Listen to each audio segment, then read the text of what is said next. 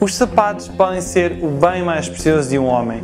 Quem diz é a de Baron's Cage, uma marca de sapatos lançada pelo manequim e personal trainer Bruno Queiroz no final do ano passado e que se distingue por um estilo muito inspirado nos barões dos séculos XVIII e XIX. Produzidos em Portugal, numa fábrica de São João da Madeira com pele de vaca importada diretamente de Itália, estes sapatos têm como público-alvo os homens entre os 25 e os 45 anos.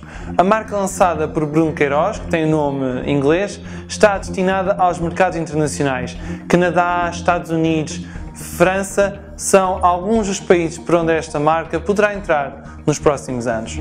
Esta é uma das histórias dos fazedores que poderá acompanhar ao longo da semana no site do Dinheiro Vivo em dinheirovivo.pt.